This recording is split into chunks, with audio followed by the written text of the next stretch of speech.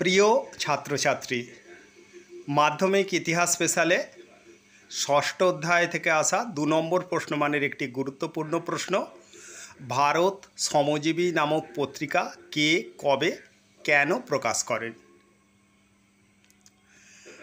বাংলার শ্রমিক আন্দোলনের পথিকৃৎ শশীপদ বন্দ্যোপাধ্যায়, শ্রমিকদের স্বার্থ রক্ষার উদ্দেশ্যে আঠারোশো সত্তর খ্রিস্টাব্দে শ্রমজীবী সংঘ প্রতিষ্ঠা করেন এবং শ্রমজীবীদের অধিকার বিষয়ে সচেতন করে তোলার উদ্দেশ্যে আঠারোশো চুয়াত্তর খ্রিস্টাব্দে সচিত্র মাসিক পত্রিকা ভারত শ্রমজীবী প্রকাশ করেন।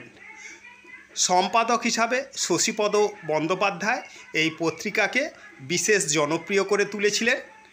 এক পয়সা দামের এই পত্রিকা প্রকাশ সংখ্যা এক সময় দাঁড়ায় পনেরো হাজার কপিতে।